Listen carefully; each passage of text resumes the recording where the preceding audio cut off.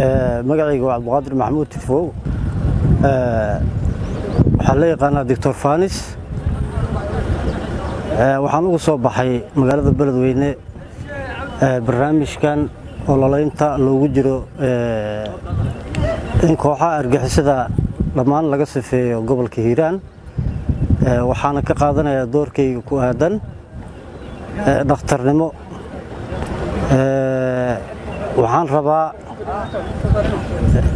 in uusan nin askari ah ama macawiisley ah uusan dhiigbax uga dhiman. Tan iyo inta laga gaarsiinayo isbitaal. Sidaa darteed waxaan wataa ambalastan waxaan wataa qalabkayga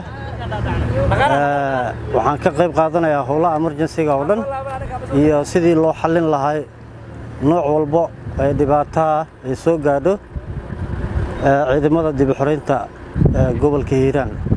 Waxaa ka soo bilaabay ceelle hele garasyaani booco halgan beereebaal iyo halka kan oo xilligan aan joogno deegaanka buulo burte dhammaan deegaanadaas waa laga sifeeyey kooxaha nabadiidka ah.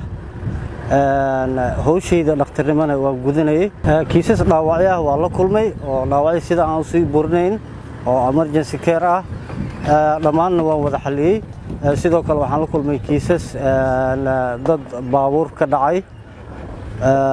Ayagana waan xalliyey sidoo kale waxaan la kulmay xanuun caadi ah oo cudurradan bini aadamka ku dhaco. Ay la kulmeen. Hadday ahaa lahayd ciidamada qalabka sida kuwa macawiisleyda intaba waa la kulmay.